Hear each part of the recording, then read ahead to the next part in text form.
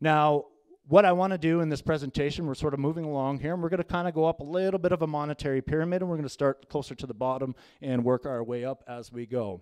So you can clearly see here, this is a fantastic article. Of course, the liberal insiders were the first to profit off this little scheme. And you can see some of the players at the top. And if anyone's in any other jurisdiction at all, it doesn't matter. It's the, the same people, just the names and the agencies change. They're all doing the exact same thing. So the directors, all these people are involved in all these entities. We have BC Hydro, CAI Capital Management, which is a private equity firm. We have the Liberals and the BC IMC. So all these people have uh, seats on each one of these boards somewhere. So they're all very well connected. So what happened was CAI Capital Management, they bought their stake, uh, half, half of the stake in uh, Terasen Water and Gas. They changed the name to Corix, which was very convenient for them. And then the, all these same people on the same boards, a few years later, awarded them the contract to install the meters.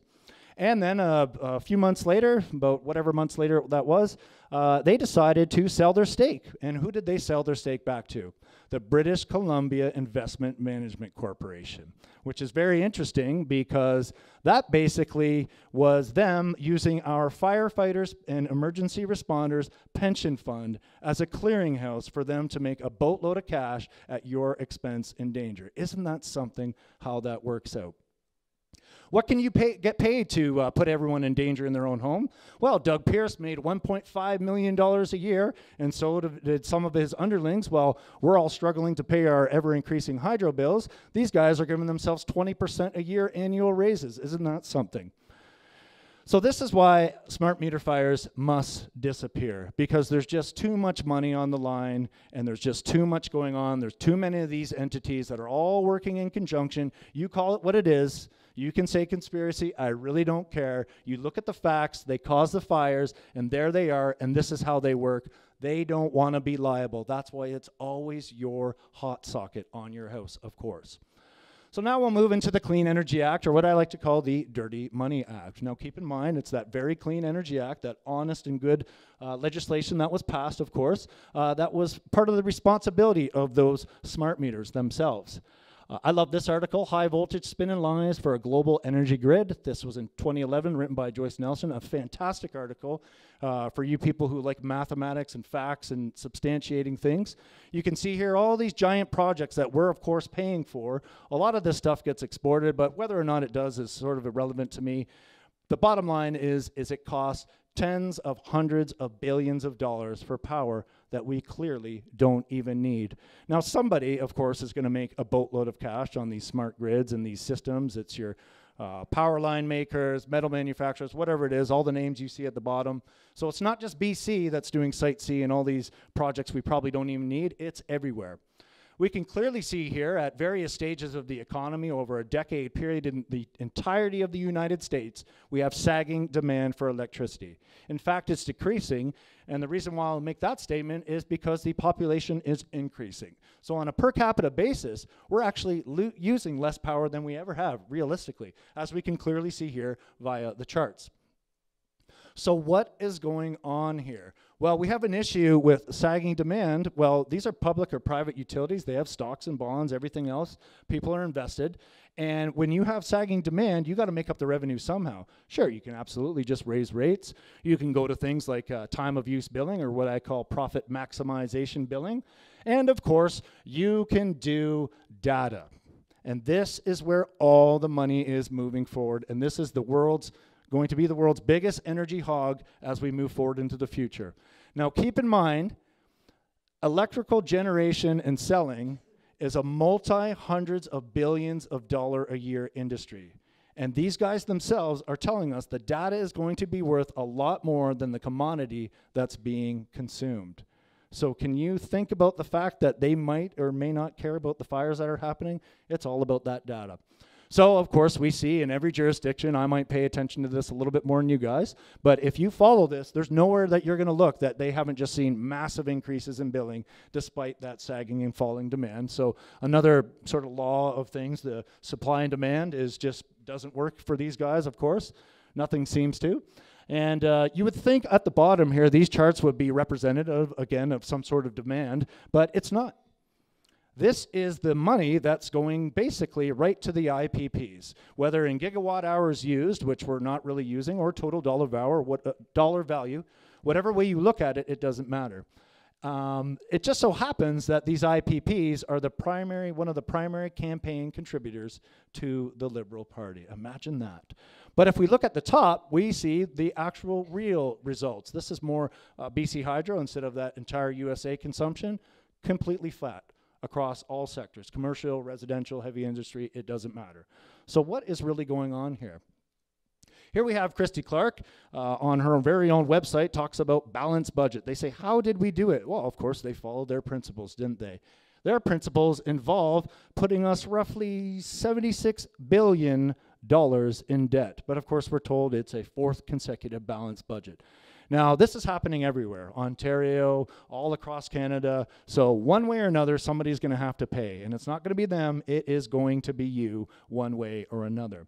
And this is where this starts to come in with the big data and bigger power. Whether we're talking about electricity or actual political power, this is what's going on. And we're just going to move a little bit further up our little pyramid here. Here's everyone's best buddy, Mr. Bill Gates. He says, I love the energy field. There is a big market if you can make a real breakthrough, a few somebodies will get very rich.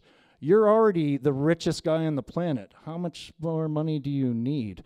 Um, and where's the money going to come from? Of course, it's going to come from you. So, Mr. Gates, he's going to start up a multi billion dollar fund for clean energy. And I'll just say, I'm not against clean energy, right? I, I would think that everyone wants to be cleaner and better. But he needs money from governments, of course. And governments mean you and your tax dollars. They are looking for hundreds of billions of dollars a year for money for green projects, of course, to help people in other countries and everything else, not to make money or anything. Or, wait a minute, oh, yeah, he's got $15 billion already invested in this. And what is he doing with this? Not about saving the planet, not about helping the climate or anything. It's strictly and solely about his money, building the cloud for himself or anybody else. If it's Amazon, IBM, it doesn't matter. So he's got a lot of money invested in there. And we can see what kind of return on investment you can actually get from some of this stuff. Business Insider tells us 6 trillion invested over the next 5 years will become 13 trillion dollars. Very rich indeed. So my main question would be, what do you think is the best way to get a return on investment? Get somebody else to pay for your principal costs, of course. So here he is, and everybody else, everybody's favorites uh, Justin Trudeau, Barack Obama, all the people that are trying to save the world from climate issues and whatnot. And he just always seems to end up in these locations. We have Prime Minister Modi there from India.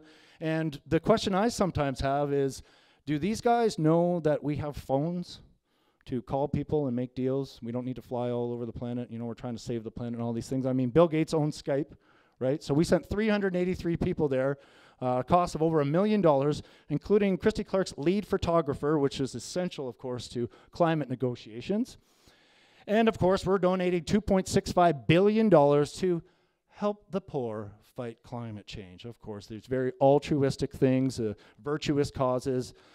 But when we really look at where our money, our tax dollars that we are paying is going, it doesn't go to help anything. All it goes to is smart grid funding. Uh, $400 million for advanced metering infrastructure systems. That's for a smart grid. And then we have uh, Microsoft. You know the guys that want partnerships with government because their CEO only makes $85 million a year. Uh, smart city investments in countries like those poor, lesser off countries like India. Wow, that's interesting.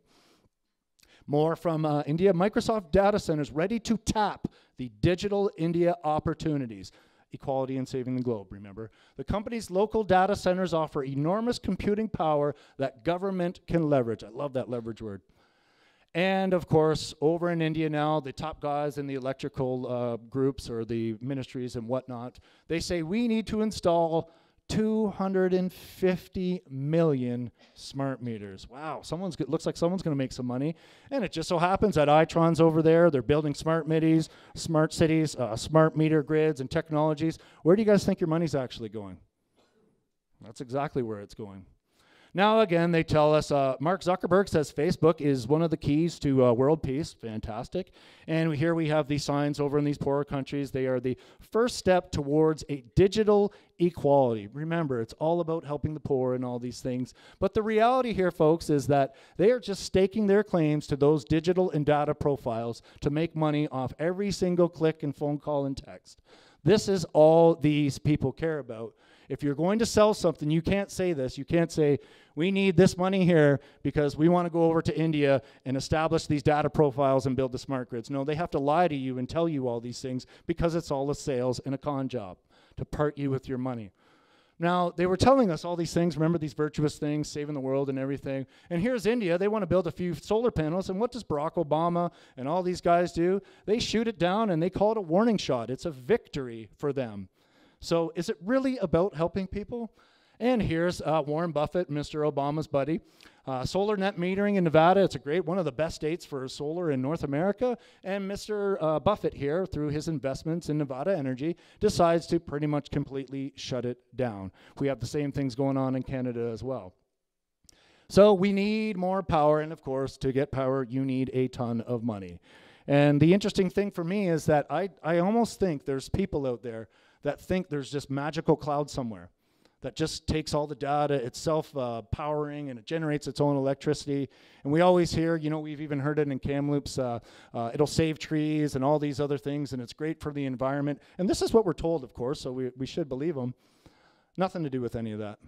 Strictly and solely about money. We're talking about a multi, again, you're going to see the piles of money st- start adding up here. Multi hundreds of billions of dollar a year industry. So you'll see if you do any investigation on data centers and whatnot, they'll always talk about how much renewable power they're using. They never say this is how much we're using so much. It's just that it's renewable, and that's great. And I, I, applaud them for moving in these directions, of course. But we'll see what they're actually using this power for, and, and we need to think about as a society what we want to do here if this is our best and most efficient use of resources. So 70,000 homes worth of power for cloud services, and data centers. Uh, here, these are just random. You can look online and find hundreds of these if you want. This, these are just one. This is one of Amazon's.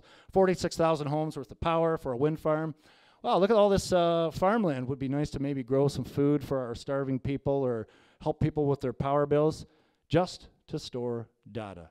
That's it. So when you start to see the size and magnitude of this, you, you really start to understand. And these are just a few logos of companies. Keep in mind, every single company needs, stores, use, tracks, and sells data all day, every single day. Here's a nice tax haven in Ireland. Two companies, Facebook and Apple. Now let's think about Site C, right? About 430,000 homes worth of power. One data center, 420,000 homes. That's a lot of power, don't you think? Now, who's this going to benefit? Of course, you remember we had that sagging demand and all those issues. Well, our power producers or our people who sell the power, all the guys that build the transformers and the grids, everything else, the IPPs perhaps. And we have Site C. Uh, of course, now we're already 76 uh, or part of close to 76 billion in debt. I believe that's uh, Site C is a part of that.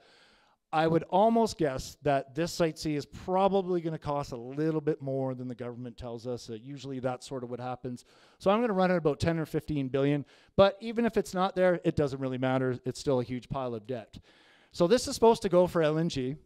Of course, it's going to power uh, the LNG uh, companies so they can ship all this stuff on a pipeline over to the hungry Asian markets. It's going to boost our economy and everything else. There's only a few small issues with that. As you can see some of them on the screen, you can find these out for yourself. There's places like Iran and Russia and a mass amount of gas going online, easily shipped cheaper and with less risk by pipeline directly to all those very hungry Asian markets that we are supposed to be feeding with this LNG. Ah, perhaps we can sell some of it down to the States. Well, they already want to export 65% of the natural gas, LNG, that they produce themselves. And there's tons and tons of this stuff coming online all the time, even looking out forward in the next 10 years. So this was funny today. I actually just saw this in the paper. Uh, we've gone from $200 billion prosperity fund, and then it went to 300 billion. Now it's a trillion. So maybe wait till next week. It could be two, four, five, ten trillion. God knows what it'll be. And this, of course, is going to happen. We're going to end up with a trillion dollars in this prosperity fund. Hopefully, that's going to pay down the very debt that her and uh, Mr. Campbell created. And we only need to look a little bit further over to our other province called Alberta when they've been promised for decades on end about how much money they were going to generate. Soon the prices go down a little bit, it's all gone. What happened? So we clearly know that governments make all these promises, and most of the time they don't come to fruition. So we're supposed to buy it, of course. This is one of my favorites. Um, yeah, well, the money's going to trickle down. The total value of the Prosperity Fund sits at negative $100 million, and that was basically brought about by increases in your MSP premiums and other taxes. So everyone's asking, you know, they're looking out there, the people that are complaining about Site C and LNG, and they're they're saying, look at, I mean, come on, the demand's not there. It's it, there's one of two things going on. Either the, the demand's not there, or there's just way too much supply. This is the price from about 99 till about 2015 into 16, perhaps.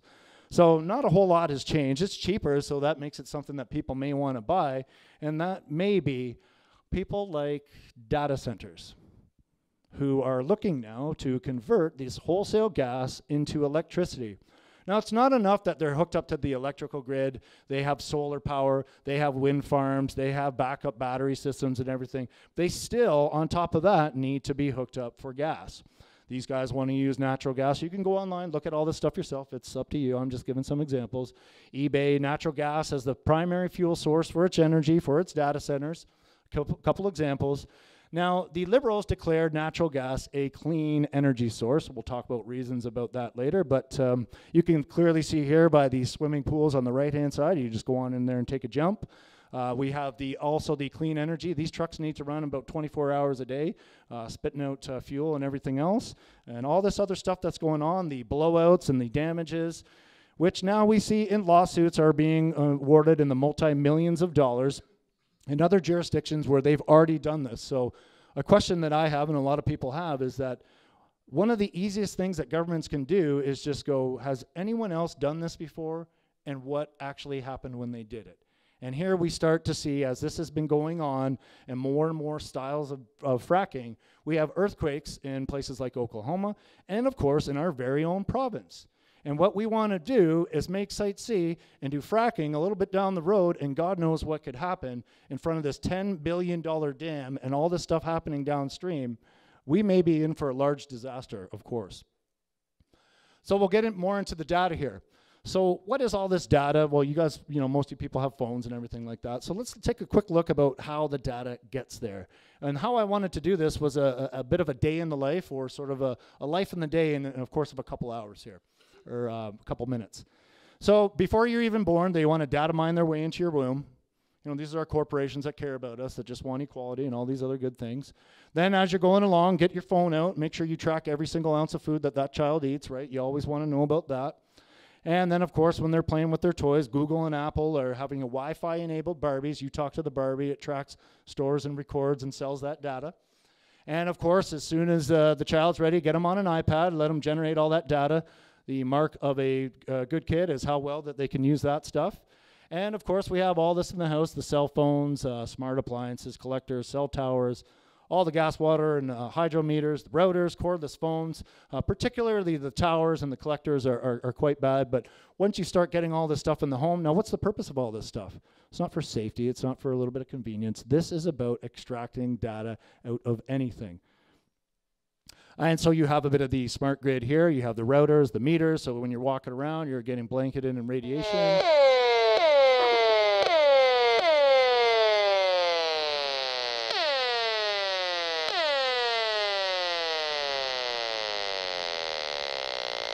Those things are literally going off constantly. Same with the routers, same with your Wi Fi routers, and all your cells and all of your body are picking up those signals all day, every single day.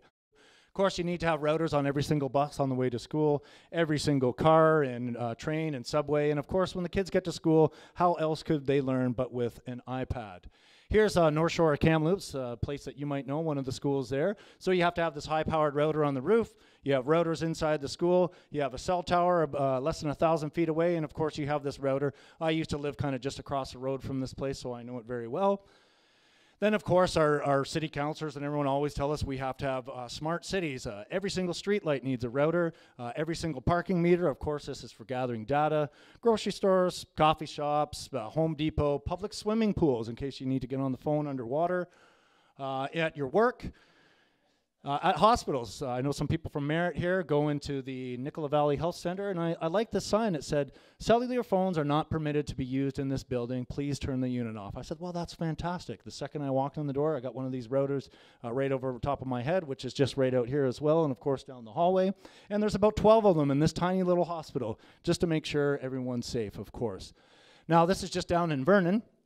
And you'll see this in a lot of arenas and other places because you know with a lot of people getting there all at once, you know 5, 10, 15, 20,000 people, they need to make sure they have access to that data and can track and sell the data. So as you go around the entire arena, there's probably 10 or 15 of these routers here and all through the walkway around the outside as well, there's probably about 10 or 12 of those just to make sure we're getting data.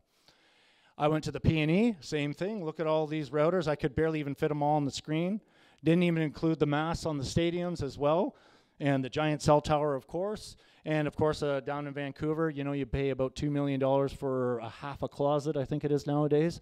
Uh, you have these massive masts uh, just directly outside of your house. Some of these things are literally 30, 40 feet away from people's houses. And just down the road, actually, the Kamloops Fire Department. Remember, those guys are all uh, at risk from the smart meter stuff, just like we are. But uh, just to get this data, these things are, uh, most of the time, these are right by fire departments, of course. This one was about 100 uh, meters away. This is the one I saw being built. Uh, and somebody warned me about that, and that kind of got me going on this. This is in West Kelowna, where I now live, about 150 meters away from the fire department there. And another one, uh, the other detachment in West Kelowna, this is about 100 meters away from them as well. These things just magically seem to be popping up all over the place. Have, I've, I've moved away from here about eight months ago, and I was just driving into town and I already noticed two new ones for the, uh, a friend was telling me this is for the Tetra systems that are now going in. So on the hill that I believe it's uh, Jenner, Kennecart, right? It is. And up on the other hill as well, uh, around Sahali there, uh, another huge uh, cell tower that's going up. This is Canada here. This is an older map, so this is probably about five years old, so it's a lot more than that. And a, a website called Antenna Tracker tells us that there's roughly 600,000 of these in the United States alone, and more and more coming online all the time. So moving a little bit away from that, okay, everyone has a cell phone and you know they're all environmental, organic, fair trade coffee and all these good things, which which I of course support. The electrical demand for just that stuff just for end products, endpoint usage, Fitbits, cell phones, everything.